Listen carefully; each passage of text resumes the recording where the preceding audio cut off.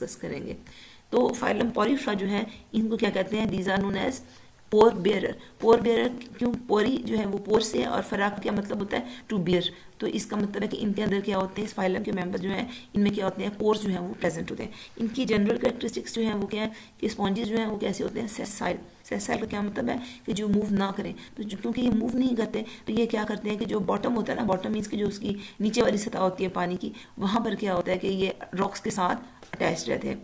और इनके जो लार्वी हैं, वो क्या होते हैं? वो मोटाइल होते हैं। क्योंकि एनिमल्स की करेक्टरिस्टिक है ना कि वो मोटाइल होते हैं। तो किसी ना किसी स्टेज पे मोटिलिटी तो प्रेजेंट होगी तो इनकी मोटिलिटी कहाँ प्रेजेंट है? लार्वल स्टेज तक है। लेकिन जब वो एडल्ट हो जाता है तो वो फिर क्या होते हैं? वो अटैच हो जाते हैं।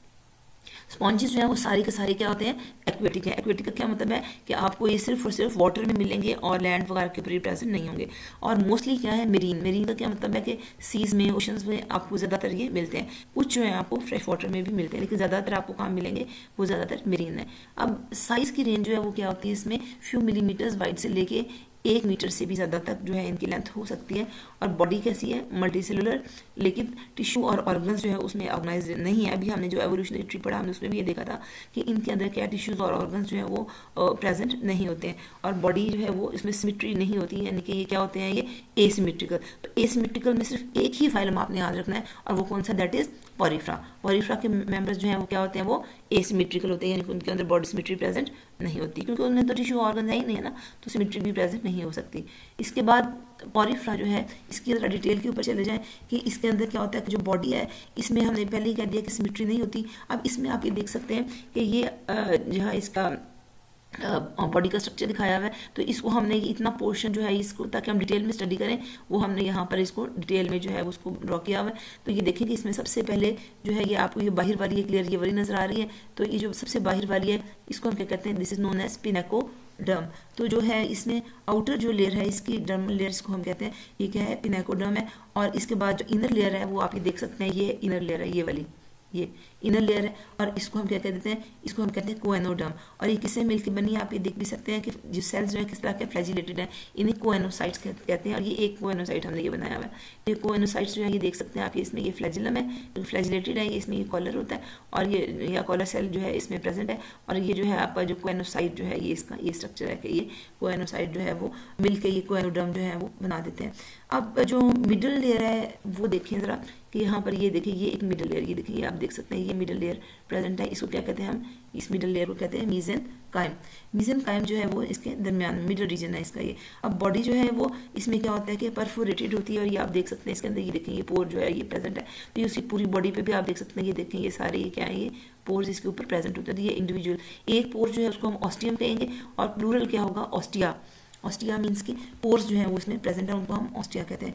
और अब ये इसके अंदर देखें कि ये तो हम दिखाना है ये ऑस्टिया प्रेजेंट है इसकी बॉडी के ऊपर। और यहाँ ये इसकी बॉडी कैविटी है और इसके अंदर आप ये देख सकते हैं कि बड़ी सी ओपनिंग है इसको क्या कहते हैं? ऑस्कुलम जो कि एक ही सिंगल ओपनिंग इसके अंदर प्रेजेंट होती है और ये बड़ी सी एक ओपनिंग होती है। अब जो वाटर है वो आ, क्या होगा कि और जिसकी कैविटी है इसका नाम क्या है? इसको कहते हैं स्पॉन्जो सील ये जो आपको नज़र आ रही है ना ये कैविटी है ये वाली। इसको क्या कहते हैं? इसे कहते हैं स्पॉन्जो सील ये इसका नाम है कैविटी का नाम है स्पॉन्जो सील और जो ओपनिंग जो आपको मैंने बताई इसके अंदर जो जाती है, वो क्या है दैट इज़ ऑस्क्यूलम अब इसके अंदर होगा क्या कि जो वाटर है ना वाटर वो एंटर कहाँ से होगा? यहाँ से। ये देख रहे हैं आप? ये देखें, ये ये और ये। ऑस्टिया ऑस्टिया के थ्रू जो है वाटर क्या होता है कि ये बॉडी के अंदर इसमें एंटर हो जाता है स्पॉन्जोसील के अंदर एंटर होता है और इसके अंदर यूँ इसके अंदर यहाँ पर ये मूव करता है यहाँ और इधर से क्या होगा कि इसी कैनाल में जब वो मूव करता है ट्रैवल करता है और यहाँ से फिर जो आपकी ओपनिंग जो है ऑस्क्यूलम इसके थ्रू क्या होता है ये बाहर चला जाता है, यानी एंटर कहाँ से होगा? ऑस्ट्रिया से और बाहर कहाँ से जाएगा? ये वाटर जो है बाहर ऑस्क्यूलम के थ्रू जो है बाहर चला जाता है। और स्पॉन्जेस जो है वो डिपेंड किस पे करते हैं कि जब ये वाटर ऑस्ट्रिया के ज़रिए एंटर होता है तो ये खाली वाटर नहीं है, इसके अंदर फ़ूड के पार्टिकल्स वगैरह भी हो सकते हैं। तो ये स्पॉन्जेस डिपेंड करते हैं फ़ूड के ऊपर के जो वाटर करंट्स के साथ जो है वो ऑस्ट्रिया के थ्रू एंटर हो रहा होता है। तो जो है वो इसके ऊपर ये डिपेंड करते हैं। इसके अलावा इसमें एक और भी चीज़ होती है कि इनके जो स्केलेटन जो इनका बनाते हैं, इसके यहाँ बॉडी के ऊपर ही एक्चुअली प्रेजेंट होते हैं। उन्हें हम कहते हैं स्पिक्यूल्स कहते हैं। वो इसका क्या बनाते हैं, वो स्केलेटन बनाते हैं और वो बिल्कुल आप समझ लें नीडल लाइक स्ट्रक्चर्स होते हैं। जैसे सुइयाँ जैसे होती हैं छोटी छोटी सी उस तरह से। तो नीडल लाइक स्ट्रक्चर्स होते हैं, हम उन्हें क्या कहते हैं स्पिक्यूल्स कहते हैं। और ये दो तरह से हो सकते हैं। ये कैलकेरियस भी हो सकते हैं कैलकेरियस का क्या मतलब है कि वो कैल्शियम कार्बोनेट के बने। और दूसरी क्या हो सकता है कि कुछ स्पीशीज में सिलीशियस भी हो सकते हैं। सिलीशियस का क्या मतलब है कि वो किससे मिलकर बने हुए हैं? वो सिलिका के बने हुए हैं। लेकिन इसके अलावा एक तीसरी भी ऑप्शन होती है कि बात स्पॉन्ज है ना जैसे, उसके अंदर जो है वो स्पॉन्जिन फाइबर होता है। स्पॉन्जिन फाइबर जो है वो क्या होता है कि वो एक्चुअली आप समझ लें कि मॉडिफाइड टाइप है कोलाजिन प्रोटीन की। कोलाजिन आपने पढ़ा है ना, जैसे हमारी बोन्स में भी होता है। प्रोटीन है कोलाजिन उससे मिलकर बना होता है। तो उसकी वजह से जो है वो जो उसकी जो बास्पॉन्ज में जो फ्लेक्सिबिलिटी होती है वो स्पॉन्जिन फाइबर की वजह से होती है। इसके अलावा जो रिप्रोडक्शन जो है, इसके वो देख लें कि जो रिप्रोडक्शन है, ये देखें इसके अंदर जो है वो कैसे होती है कि एसेक्सुअल की जब हम बात करें तो इसमें बडिंग ये देखें आप देख सकते हैं, ये देखें ये ये बर्ड बनी हुई है और इसके अंदर भी ये देखें ये, यहाँ इसमें भी बर्ड्स निकली हुई हैं। तो जो इसके अंदर ए सेक्शुअल प्रोडक्शन जो होती है वो इसके ज़रिए से होती है? वो बडिंग के ज़रिए हो सकती है, इनको हम जेम्यूज भी कहते हैं। अब बर्ड जो होती है वो क्या होगी कि वो डेवलप कर जाएगी न्यू स्पॉन्ज तो ये देखें, ये जो ये बर्ड निकलती है उसके बाद क्या होता है कि ये ग्रो करके न्यू स्पॉन्ज जो है वो बना देगी।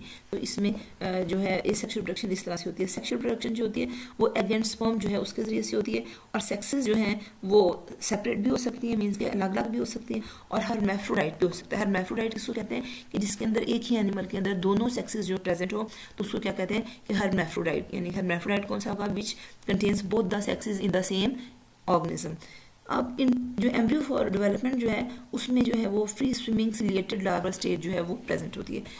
स्पॉन्जेस जो है, इनमें रिमार्केबल जो है, आप समझ लें कि एबिलिटी होती है रीजनरेशन की। तो रीजनरेशन का क्या मतलब है कि अगर कोई इसका स्मॉल फ्रेगमेंट भी है तो उसे ये क्या करेगा? रीजनरेट करके पूरे का पूरा एक स्पॉन्ज जो है, वो बना देता है। और स्पॉन्जेस इवॉल्व कहाँ से किए? हुए प्रोटिस से। शुरू में जो आपको दिखाया था ना, मैंने एंसेस्ट्रल प्रोटिस जो दिखाया था तो उनको हम कहते हैं कोएनो फ्लैजिलेट्स तो फ्लैजिलेट्स वो प्रोटिस्ट है कि जिनसे स्पॉन्जेस जो हैं वो क्या किए थे इवॉल्व किए थे। एग्जांपल्स जो हैं, वो कौन से ये आप देख सकते हैं, ये स्पॉन्जिला ये जो आपको ये नज़र आ रहा है ग्रीन सा ये स्पॉन्जिला है और ये क्या है साइकॉन है। ये इसकी एग्जाम्पल्स हैं। इसके बाद इंपॉर्टेंस जो है उसकी, वो क्या है कि स्केलेटन्स जो है स्पॉन्जेस के, वो हमारे किसमें यूज़ होते हैं? वो यूज़ होते हैं इसमें वॉशिंग एंड बेदिंग के लिए इस्तेमाल करते हैं। और इसके बाद जो स्पॉन्जेस जो हैं उसमें एक और ख़ास बात होती है कि ये वाटर को एब्जॉर्ब करने की कैपेसिटी इनकी बहुत ज़्यादा है, जिसकी वजह से हम क्या करते हैं कि इनको सर्जिकल ऑपरेशन में, क्योंकि आपको पता है कि जब सर्जिकल ऑपरेशन की जाते हैं तो उसमें क्या होता है, जब आप कट लगाते हैं तो फिर फ्लूड और ब्लड वगैरह जो है वो निकलता है तो उसको एब्जॉर्ब करना बहुत ज़रूरी होता है ताकि आप ऑपरेट कर सकें तो वो उसमें स्पॉन्ज को यूज़ किया जाता है, उसको एब्जॉर्ब करने के लिए वाटर और उसके अंदर जो ब्लड और फ्लूड वगैरह जो होता है उसको एब्जॉर्ब करने के लिए। इसके बाद स्पॉन्जेस जो है इसको हम बिल्डिंग्स वगैरह में साउंड एब्जॉर्प्शन के लिए भी यूज़ करते हैं। तो ये थे स्पॉन्जेस के यूजेस इसके बाद नेक्स्ट फाइलम जो है हमारा दैट इज़ नाइडेरिया नाइडेरियंस जो है